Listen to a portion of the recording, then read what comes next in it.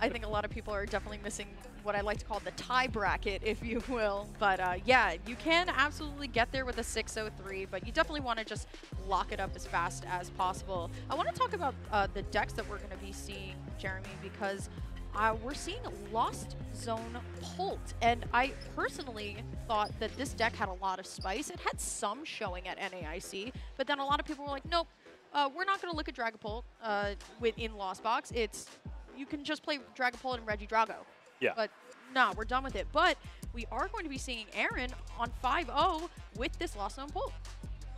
Yeah, and of course, Alex Schemanske uh, is playing Roaring Moon EX, but it's not just Roaring Moon EX. It is Roaring Moon EX with Darkrai V-Star and Dusknoir. So a lot of stuff going on in this list, but you got my favorite combo of an engine in Pokestop, Night Stretcher, Rare Candy.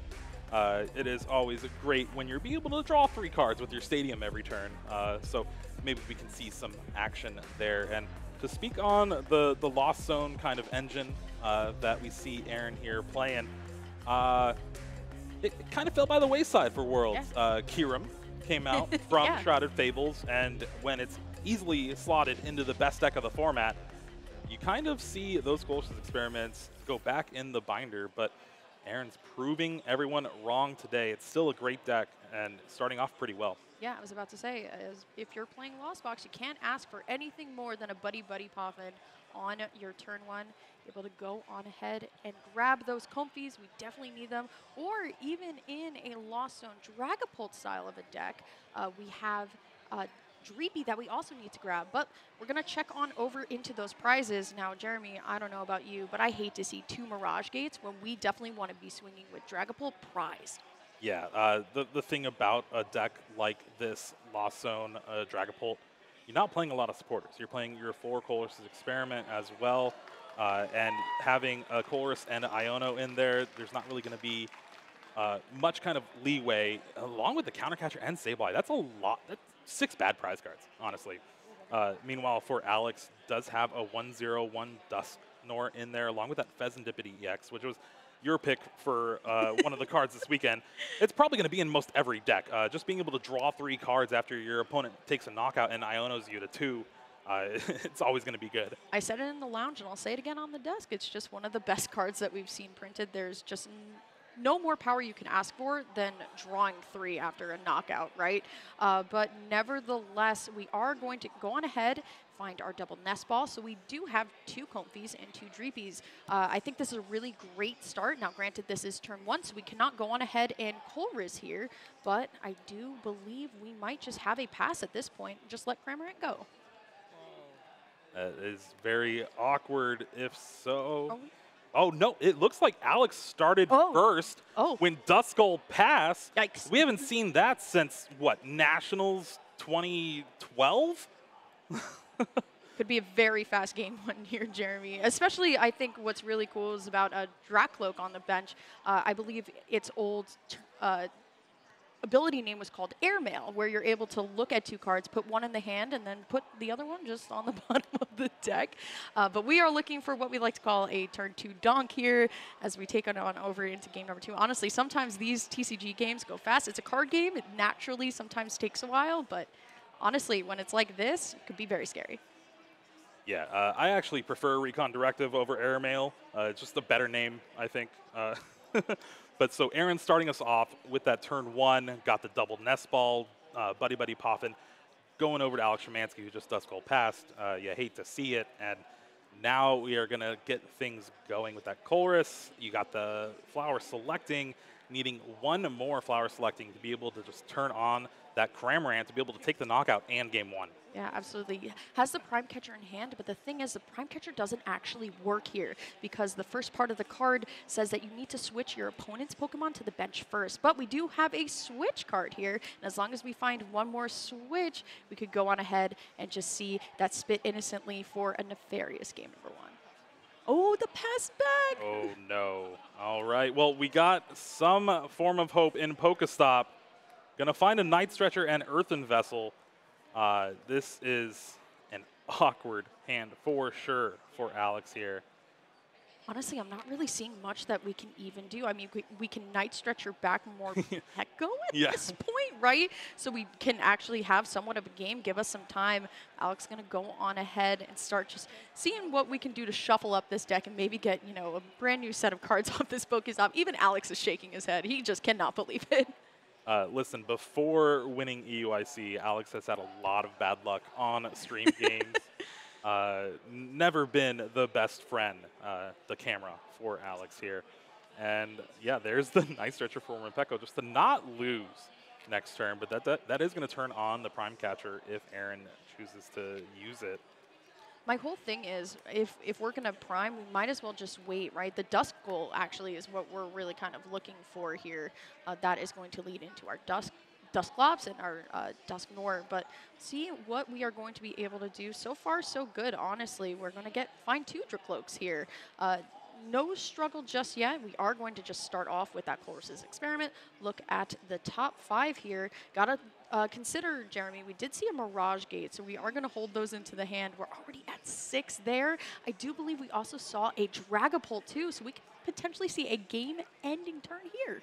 Oh, yeah. Uh, there's even a rescue board found off that uh, but I think everything is cobbled together in the hand quite nicely here. You got that Mirage Gate, get the Fire and the Psychic for that Dragapult EX, the Prime Catcher, and the Duskull only has 60 HP.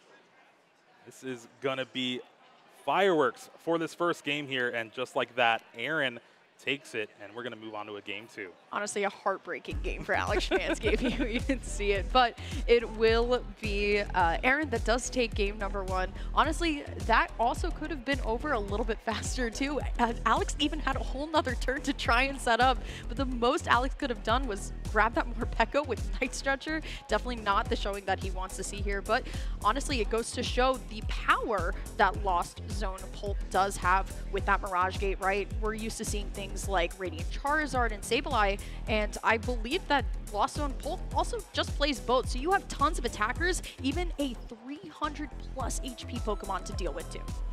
And looking at Alex's list, uh, there was a lot of outs to do stuff. Uh, a simple Nest Ball or Ultra Ball opens it up to something like Squawkabilly EX on that first turn, Minion V, uh, and just not having any of that available uh, only a, a, pretty thin count of supporters as well. You got three research, and that's really the main goal that Alex is trying to reach towards.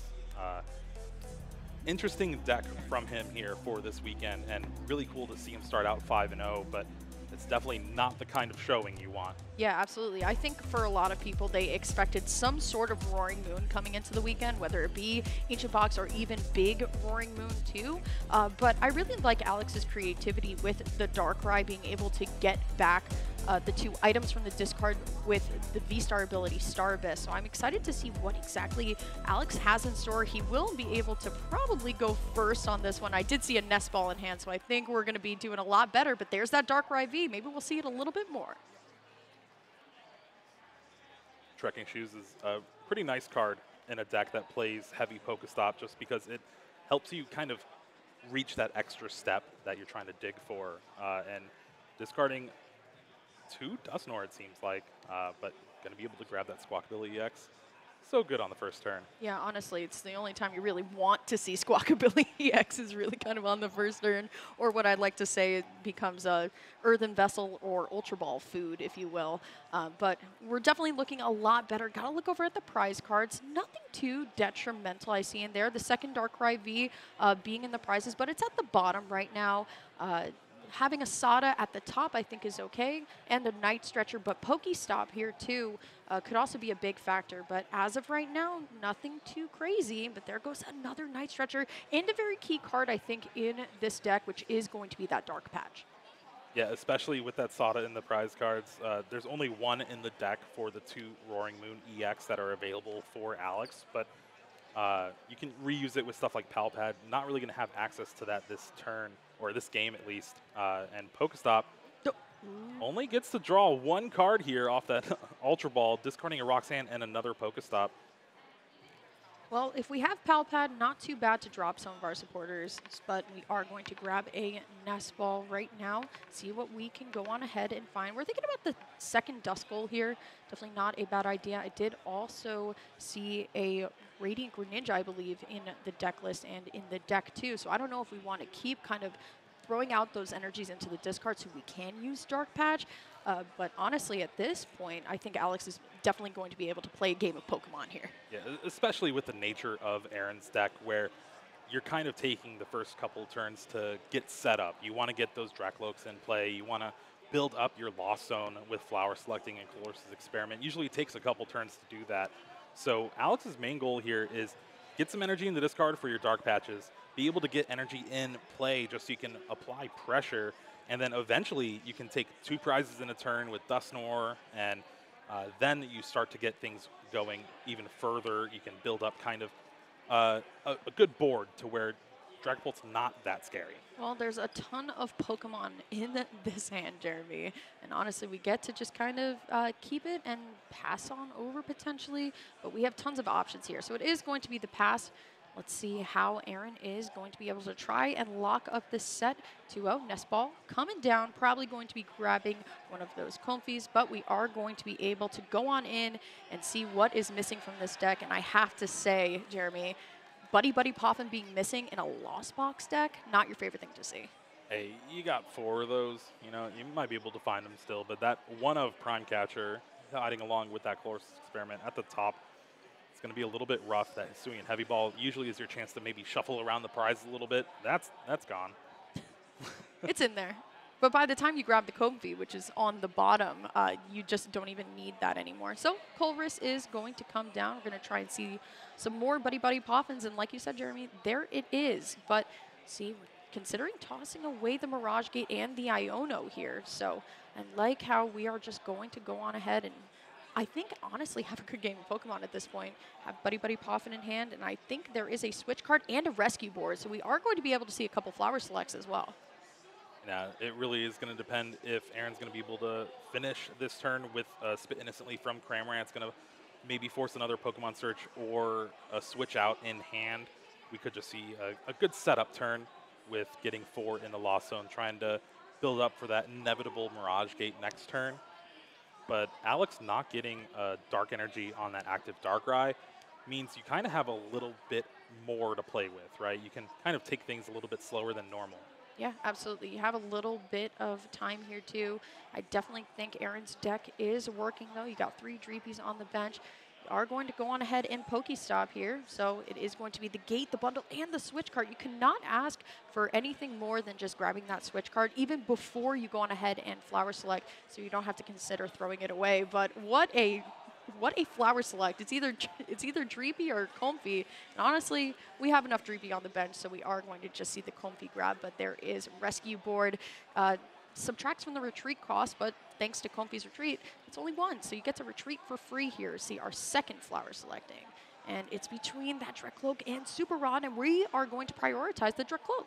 Yeah, that's the, the biggest thing with playing a deck like uh, this Lost Zone Dragapult is anytime you're just playing Lost Zone in general, you, you really have to value your resources uh, kind of perfectly and manage them throughout the game.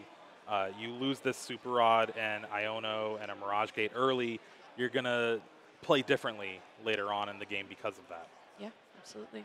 Get the Evolve into that Darkrai V-Star here as Alex is going to hit the stop again, losing the Duskull and the basic Dark Energy. And as we mentioned before, losing the Dark Energy isn't necessarily the worst thing in the world. We do play the items that can help get that out, uh, like Night Stretcher and that Dark Patch. But here comes the concealed cards. It will be Nest Ball and the Pecharunt EX with its Subjugating Chains ability. Yeah, this hand is very awkward for Alex. Still just a bunch of Pokemon like you were saying last turn. He found a few more. uh, it has some Pokemon search with that Nest Ball, Ultra Ball, it seems like. Uh, going to discard a couple of resources here in that Pecharunt EX, but again, it's not good right now. I don't think it's going to be that good even late in the game. Yeah, honestly, subjugating chains allows for you to move the dark Pokemon into the active from the bench. It does get poisoned though on the way, so you do have to be a little bit careful of that. See what our Ultra Ball search is going to give us here as we are considering anything that'll help us honestly just start seeing some items here, Jeremy. Yeah, I think we're going to see the Lumineon V hit the bench, use that luminous sign to go and grab a supporter. Uh, because Alex definitely needs some help. yeah, for sure. Honestly, it's just it just doesn't seem like the the deck is really agreeing with him right now. Hence, a very very uh, diligent shuffle, if you will, is going to see the research. So we might as well see a lot more cards here. So we are going to just completely uh, ditch the hand here. It is going to be the uh, energy attached though, but like we said, we are going to get rid of that Pecharunt, the Nest Ball and the Iron Bundle here. But here go. Definitely looking like a lot better of a hand if you ask me. Double Dark Patch, Rare Candy, two Rare Candies, I believe, and an Earthen Vessel. Uh, yeah, it's it's a little bit better, but uh, you're going to have to lose a lot of resources if you want to get a Dusknoir in play. Uh, and even if you do, you're not really going to be able to attack. Uh, the only card that really helped Alex out here in this situation for this turn was going to be that uh, Prime Catcher. Not finding it here means the Darkrai is just not going to be able to attack. You got a couple Dark Patches in hand, but that Roaring Moon takes three to attack for both of them. So another slow turn here from Alex. Yeah, a lot of decisions to make here. Has to decide whether we want to go on ahead and just set up, but it is just going to be a pass.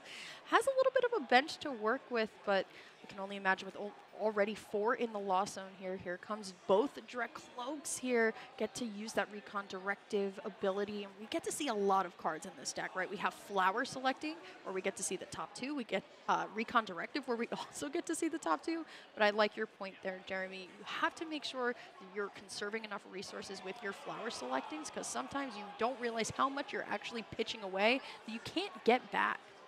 Yeah, uh, there's specific numbers you need to hit for a deck that plays this Lost Zone engine, and it's four for the Cramorant, seven for the Mirage Gate, ten for that Sableye. Essentially, once you get there, you're good. Uh, and it, it's definitely tempting a lot of the times just because drawing cards is so fun in the Pokemon TCG. uh, Recon Directive, Flower Selecting, Colress's Experiment. The hand is uh, eventually going to be overwhelming. Yeah, I like the sequencing here too, uh, using the flower selectings before your recon directive, but see what we're going to get. We're going to grab counter catcher and a psychic energy, I believe. I don't think we need counter catcher just yet.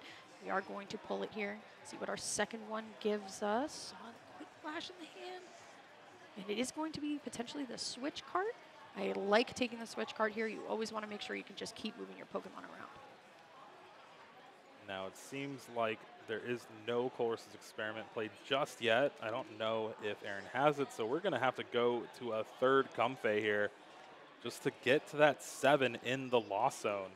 So, so, different from what we were kind of seeing earlier with just no uh, Pokemon on the bench. Now we have fill, fill, full benches, excuse me, on both sides here. We'll see what is going to go on. But like you said, Jeremy, seven in the Lost Zone. Yeah, that means just another switch out paired with this Mirage Gate and a Dragapult EX in hand. And Aaron's going to be the first one to actually start attacking and trying to put the pressure on what seems like a very fast deck for Alex in the sense of taking big knockouts early. Yeah, absolutely. And it's super important too because once again, we're trying to just get rid of these Duskulls here. Uh, we haven't seen Darkrai V-Star attack either, so it is going to be the Evolve. Or was that this turn?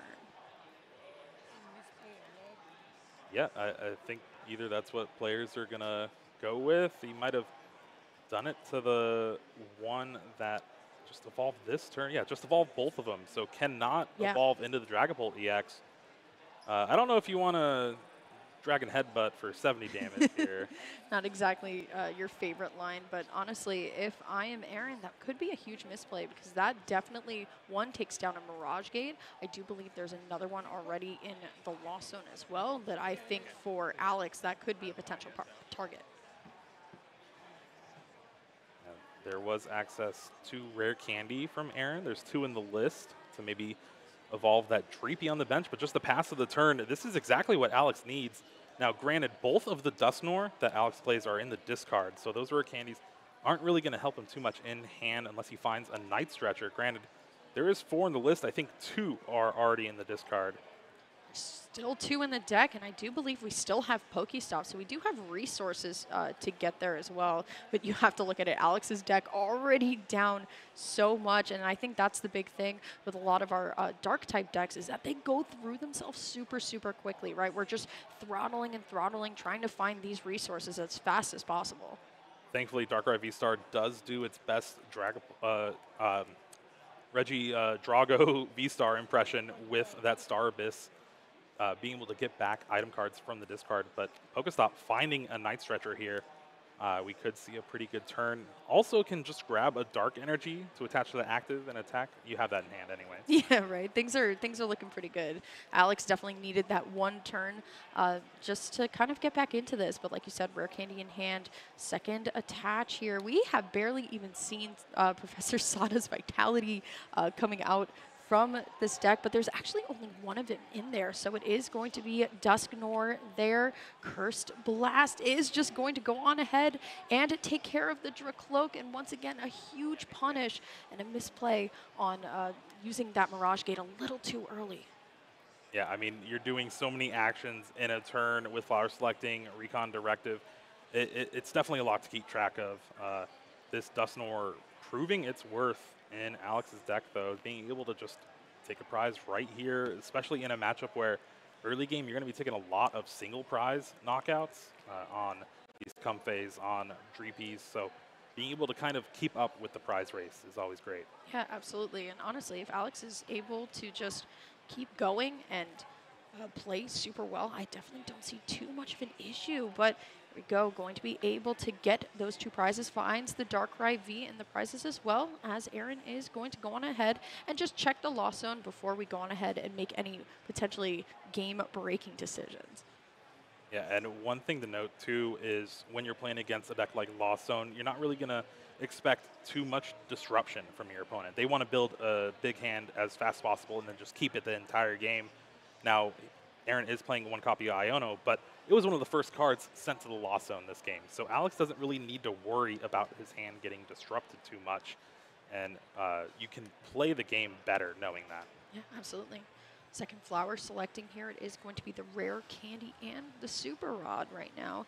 We're going to pitch the candy here. So we have nine, I believe, in the Lost Zone, if I do math correctly in my head. But just be checking out the discard as well. But definitely feels better, I think, for both players that they're definitely playing a better game right now. Is it math if you just have to read the number nine? Listen, like man, sometimes that's really hard. You'd be surprised. we'll see what's going in the Lost Zone here off of this Colress's experiment. To believe it is a Pokegear 3.0 and a Nest Ball. It seems like we have practically just everything we need, but there's that golden number 10 here in the Lost Zone. So Sableye Lost Mine also now turned on, ready to go. Yeah, uh, technically 11, but we, we reached that 10. After it, it doesn't matter, you know? uh, the number will just stay at 10 at that point. and Recon Directive here, uh, just again building that hand, but we know there's that Dragapult EX because Aaron tried to play it down last turn. but finally hits the board and you can start threatening that Phantom Dive. Something like that Prime Catcher would be great here, but again, it's in the prize cards. Uh, not going to have access to that. Is going to have to just eye down this Darkrai V-Star. Aaron does have a boss's orders in hand, but again, already played that Colress's experiment. Yeah, absolutely. I do have a question for you, Jeremy. I do believe in Aaron's hand, I do see a Temple of Sinnoh. Would it be worth playing the Temple of Sinnoh down to just get rid of Alex's resources at that point? Um, instead, just kind of like throwing out just Alex's opportunity of getting any more items that he needs. Exactly. Ooh. Well, it actually works out perfectly here for Aaron because Pokestop discarded one of the Pokestops earlier on in the turns, and then Alex has another one prized. So even though Temple of Sinnoh doesn't do anything in this matchup because both players are just playing basic energies, uh, getting rid of that resource for Alex where the deck is built around discarding the top three cards because you play so many items. Yeah, absolutely. So we will be seeing also the counter catcher on to Lumineon, and like we were talking about, uh, Phantom Dive is now going to go on ahead and spread damage across the board, so that damage can go basically anywhere on that bench. Uh, a lot of the times players opt to go for the Squawkabilly, but even though uh, we already have game with that with Phantom Dive, we can also just throw all six of it onto that Darkrai V-Star if we so choose. And I do believe what it was the counter catcher that was actually played, which is yes, insane here. Yep. Uh, being able to take a two prize knockout and set up that roaring moon, so it really can't frenzied gouging. Yep. Uh, is going to be huge. It's the one way to take down a 320 HP Pokemon on your opponent's side for just three energy, and it's going to make Alex have to do a lot more work to try to get a knockout this turn. Alex definitely needs to kind of take his time because I think this will definitely be uh, the turn of dreams, if you will. It's a three prize turn uh, for Aaron there. I mean, uh, the thing is now you are on an odd prize trade, so that could be a little bit more awkward, but we definitely have the Roaring Moon in hand. We have Dark Patch.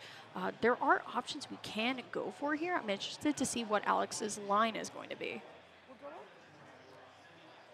Has Ultra Ball in hand. You have access to that Star Abyss V-Star ability from that Darkrai V-Star, so you can reuse a couple items. Maybe going to be Dark Patches again. Just try to get as much Dark uh, energy in play to boost your Dark Pulse. Alex with, I believe, six cards left in yeah. deck at this point. Um, I do believe uh, we got rid of our one copy of Roxanne a little bit ago too. That would also be a nice way to replenish the deck. I know a lot of the times players kind of go for that Iono, but Roxanne also now that Aaron is all down to three prize cards. We'll see though. Alex shaking his head. He's definitely not liking his odds on this one.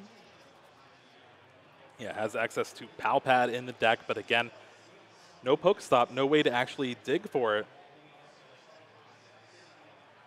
Second Roaring Moon going to hit the bench and thinking about it here. You just have to be really careful. Definitely don't want to just like go all the way through, but double Dark Patch there. Uh, definitely cleaning up to be a really nice turn for Alex, but like I said, it, it could be very difficult. We get the Dragapult out of here, right? But then Radiant Charizard is already staring you down in the face. Yeah, you're still needing to take two two prize knockouts essentially to try to win the game, where Radiant Charizard does its best at the end of the game, needing only a couple energies or even one energy to be able to take these knockouts and clean up 250 damage with Combustion Blast. Uh, it's definitely going to be on Alex's radar. There's also the possibility of just another Dragapult EX getting played. Uh, Phantom Dive taking out this uh, Roaring Moon EX with just 30 left if Frenzy Gouging is the play. Uh, it's not looking good for Alex. Yeah, definitely not, right? There's, there's too many what ifs in that uh, scenario here. So I do believe we are going to V-Star ability, that Star Abyss like we talked about. And when you Star Abyss, you can put two item cards from your discard pile back into your hand. So like you said, Jeremy, just basically a different version of Legacy Star that we see from Regidrago V-Star. But I do believe I saw a Dark Patch and a Night Stretcher. But here we go. There it is, that Run EX. We were talking about the subjugated chains a little bit earlier. So we will will be seeing at least a frenzy gouging this turn, but the question is, what does Alex do after? Yeah, well, we're going to have to get there when we get there. At least now we can frenzy gouging for the one-hit knockout on this Dragapult EX and just force Aaron to again have it. But right now, you'd love to see the Pal Pad for the Roxanne, be able to maybe Pokegear for, or uh, trekking shoes into it or something like that, but none of that's available. Uh, just doing what you can with the cards that have been dealt to you.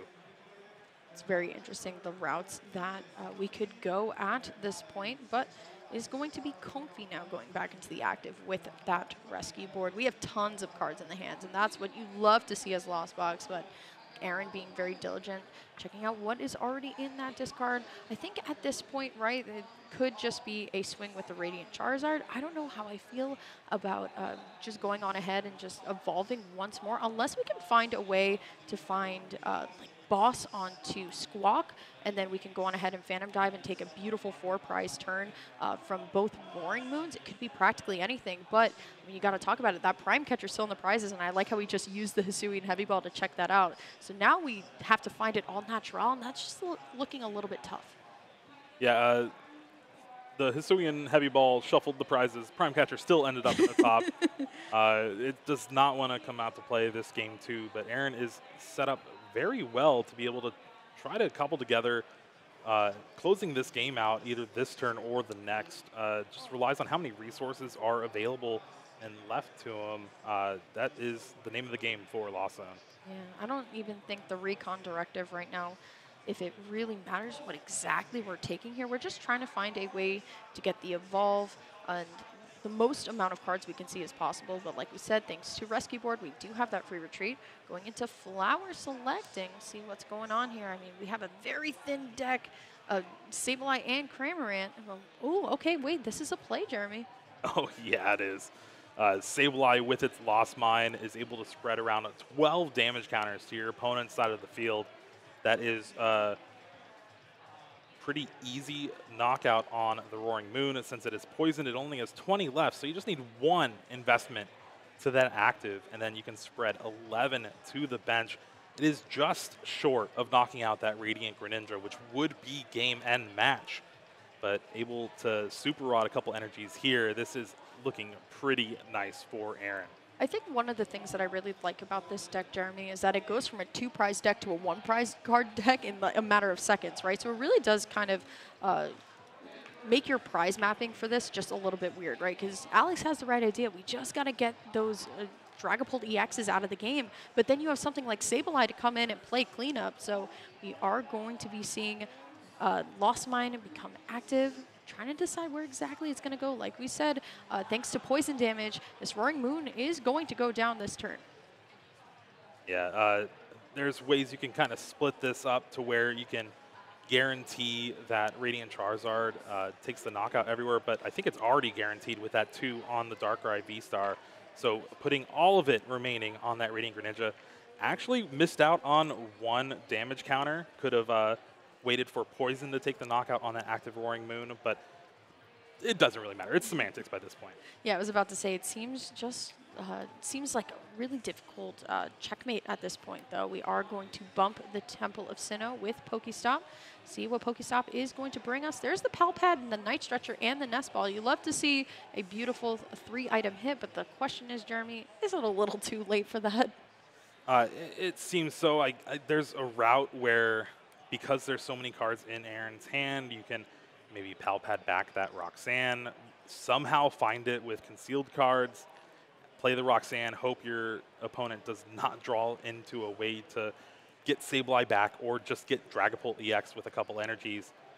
We'll have to see how Alex feels about it. Uh, does look like Night Stretcher for the Lumineon V star here, so this is going to be able to fetch that Roxanne right away see what's going to happen here. Going to Pal Pad back in the Boss and the Roxanne. So, like we said, Lumineon, that Luminous Sign ability, you're able to go on ahead and grab any supporter from that deck that you like. Nest Ball, though, is going to be the play just to check out what's going on in there. And I think that's what we like to call thinning the deck just to make sure we don't draw into anything we don't want to here. But it will be the Luminous Sign for Roxanne we're going to see a very small cut. Both of these decks are down to some of their just last cards. They've really gone through everything at this point. We're going to see a Dark Energy on the Pecharunt EX, which is actually a pretty viable attacker the later the game goes. Uh, this matchup, it's not really going to matter too much, but it's something that people have to keep an eye out for. Shuffling up here. So Roxanne is going to give Alex six cards, and then it is going to give Aaron only two. But honestly, thanks to that Super Rod, if we get this Sableye out this turn, uh, we could just see that Fire Energy go right onto Radiant Zard. But honestly, Alex, this, or Jeremy, this looks like the same, oh, practically the same hand for Alex Schemanske. Has the Research, has the... Uh, has the prime catcher still. We'll see though if we make it to next turn. There's the draw for turn. All we really need is uh, all we really need is a Colress's experiment. My goodness, we're going to see a lot of cards this turn. All right, we see the Psychic Energy go the wayside to the Lost Zone. You do have Mirage Gate. If there is the fire, there you go. Retreat and Combustion Blast for the knockout. And just like that, Aaron Osuna with Lost Zone Dragapult EX moves to 6-0, one match away from making day two trying to best his 65th at Sacramento last season. I was about to say, what an amazing achievement here. To do it also with a deck that a lot of people have just counted out as well. I think a lot of people were just saying Lost Zone Pult isn't real, and we've seen uh, when it really gets going, how it really does kind of change your prize mapping and the way that you go about certain matchups. But what a set, I think, from both Alex and Aaron. They put on a great show, but would have loved to see a little bit more from Alex. But you know what I do get to see? Some match highlights here as we're going to go on ahead, check the replays of what is going on. Just what an interesting start. You can know, you know what, Alex? I feel that. that, that head nod was like, oh man, what do I do? Yeah, uh, highlights, maybe lowlights for uh, fans of Darkrai V-Star. Uh, this was a pretty quick game one. A Prime Catcher sealed the deal with that double knockout. And then going into game two, Alex just could not find an energy turn one. That meant he couldn't attack turn two. And it was just a little bit too slow. It allowed Aaron to really build up that Lost Zone. And when Lost Zone has 10 or more, uh, it, it is scary. Yeah, absolutely. And I think just from how many turns we saw Alex just not have the energy to really go on ahead. It really just gave Aaron and that Lost Zone time to really kind of stabilize at that point. Because, you know, when you're not really seeing too many cards in the Lost Zone on turn one, that could be a little bit rattling. But great composure from Aaron. Uh, we'll definitely be still seeing Alex 5 and 1 is still a very respectful record, but Lost Zone Pult 6 0 here at Baltimore Regionals yeah, it, it's definitely crazy. And Sableye back. I, maybe we just have to say it now. It, it might be the only Lost Zone uh, Dragapult EX in the room, but Aaron is showing that it is still viable. And if your opponent can't cure him, uh, you, you, don't have to worry about playing your Colress's experiments.